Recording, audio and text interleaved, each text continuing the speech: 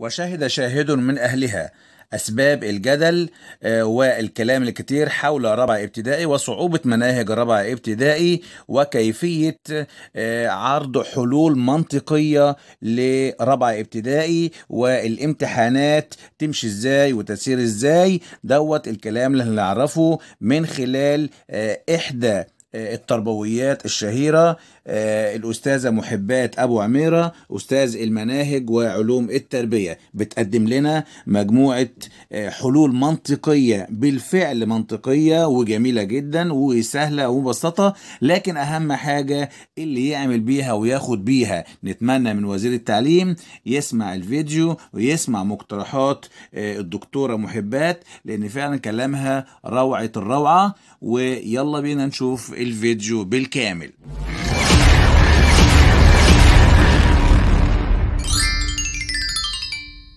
السلام عليكم ورحمة الله وبركاته. أهلا بكم جميعا في فيديو النهاردة. فيديو النهاردة هو الشغل الشاغل في المجتمع المصري وفي التعليم بصفة عامة حاليا وهو منهج رابعة ابتدائي.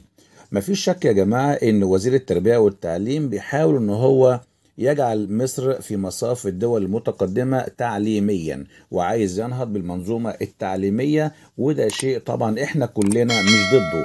بالعكس إحنا كلنا بنتمناه وعايزين تطور حقيقي للتعليم في مصر وعايزين خريج ممتاز خريج آه، على قدر المسؤولية خريج آه، يكون فعلا مستوعب اللي هو درسه ويحقق على أرض الواقع كل اللي إحنا محتاجينه منه ويكون شخص ناجح ومبدع. هو دوت اللي إحنا عايزينه من آه، التعليم بتاعنا. هناك من يكون مع السيد الوزير في الخطة بتاعته وهؤلاء قليلون. وهناك من يكون ضد السيد الوزير وهؤلاء هم الكثيرون. طبعا الكثير من أولياء الأمور آه، في استياء شديد جدا جدا آه، مغمورون ب الاستياء ضد وزير التعليم على نهجه ومنهجه في صف الرابع الابتدائي وتطوير المنظومة التعليمية في رابعة ابتدائي خصيصا. هناك من آه، قام يعني بالتريقة وقال آه، رابعة ابتدائي علمي وعلم علوم ولا علم رياضة من شدة وصعوبة المناهج على الولاد. لكن الوزير بيحاول دائما يحاول باستمرار إن هو يفهم المجتمع آه، خطواته ماشية إزاي وإن هو بيقيس مهارات معينة وعايز يعني ينمي مهارات معينة لدى الطالب المصري وهو ده الهدف من المنهج في رابعه ابتدائي. آه، لكن آه، هناك آه، الكثير من التربويين في المجال التربوي نفسه في الجامعات المصرية كليات التربية تحديدا. آه، من هم؟ مؤيد للوزير ومن هم؟ أيضا معارض. آه، ولكن القرار طبعا مش بإيديهم فهم عليهم التنفيذ والانسياق وراء الوزير وخططه فقط لا غير. لكن خرجت علينا الأستاذة التربوية الشهيرة الأستاذة محبات أبو عميرة أستاذ المناهج بكل بإحدى كليات التربية في مصر. وشهد شاهد من أهلها مثلما يقال. خرجت علينا بكلام مهم جدا جدا آه، كلام يعني نرفع له القبعة آه، كلام فعلا يشرح آه، الصدور آه، لكن إحنا محتاجين للي ينفذ هذا الكلام. آه، حيث كشفت الدكتورة محبات أبو عميرة أستاذ المناهج والعلوم التربوية آه، يعني كشفت أسباب الجدل بمنهج رابعة ابتدائي. ففي إحدى مداخلاتها الهاتفية ببرنامج حقائق وأسرار المذاع عبر فضائية صدى البلد اللي بيقدمه الإعلامي مصطفى بكري. وكان الكلام ده يوم الخميس إن التطوير إلزامي في جميع مراحل التعليم. طبعا التطوير مهم في جميع المراحل. مش بمرحلة واحدة لأنه كله مبني على بعضه. آه، لافتة النظر إلى أن المشكلة في منهج رابعة ابتدائي آه، خصيصا هو أنه لم يكن هناك امتحانات بالصف الأول والثاني والثالث الابتدائي. في حين أن هذا العام رابعة ابتدائي بقى يا شباب هيكون في امتحانات هي دي إيه الصدمة.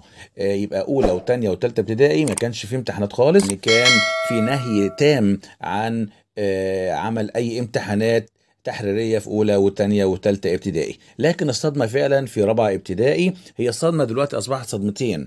إن آه، كم كبير جدا من المواد. ثانيا إن الامتحان تحريري. وأوضحت أن هناك اسهاب وإطالة في منهج الرياضيات الخاصة برابعه ابتدائي حيث يبلغ عدد صفحات كتاب الرياضيات 325 صفحة في الترم الواحد. وهناك بعض الموضوعات فوق المستوى العمري للطالب.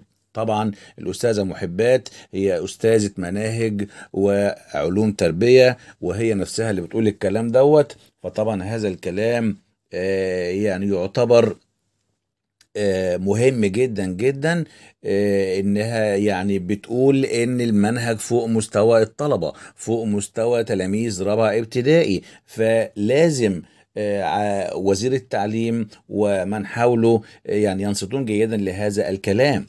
وأوضحت بضرورة اعتماد مبدأ التشويق والتبسيط في تدريس المواد. لازم عنصر التشويق وعنصر التبسيط لكن هناك فريق من المعلمين أنفسهم بيقولوا إن المناهج فعلا آه، عالية وكتيرة آه، على مستوى رابعة ابتدائي. فإزاي هنعمل موضوع التشويق والتبسيط خاصة إن في منهج لازم يدرس ولازم يخلص في فترة زمنية معينة. كما اقترحت آه، الدكتورة محبات تخفيض كم المعلومات خاصة في المواد الأساسية من العلوم والرياضيات والدراسات الاجتماعية.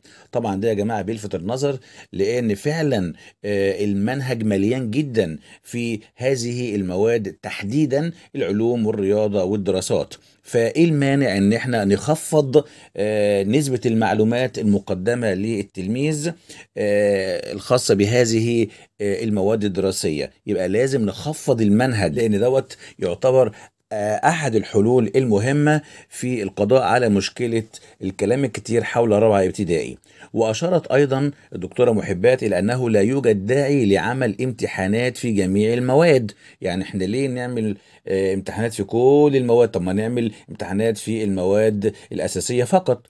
آه هي نفسها قالت ويتم التركيز فقط على الامتحانات في المواد الأساسية وتقليل كم الامتحانات الشهرية. وعدم إضافة المواد الفنية والأنشطة إلى المجموع.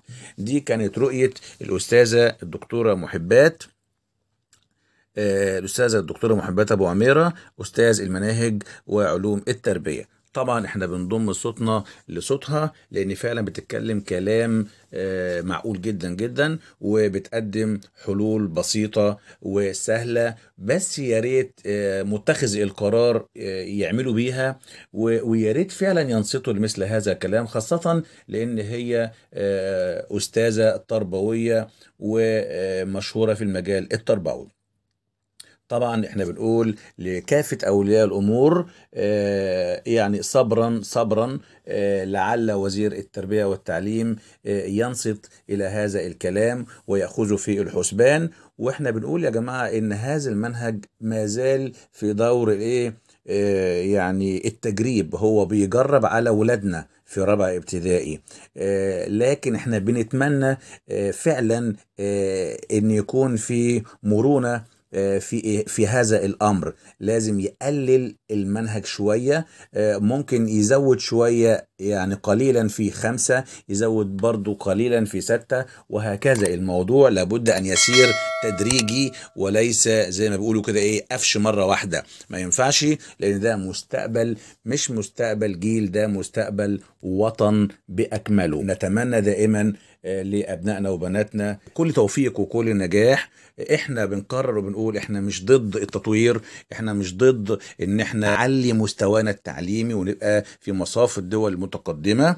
لكن أهم حاجة الطريقة وأهم حاجة الكيفية. إلى أن نلتقي في فيديو آخر. لكم مني خالص تقديري وتحياتي. والسلام عليكم ورحمة الله وبركاته. دمتم دائما في رعاية الله وأمنه وعنايته. سلام أحلى شباب. لا تنسوا الإعجاب بالفيديو والاشتراك في القناة. تشجيعا لنا لنستمر بنشر المزيد إن شاء الله.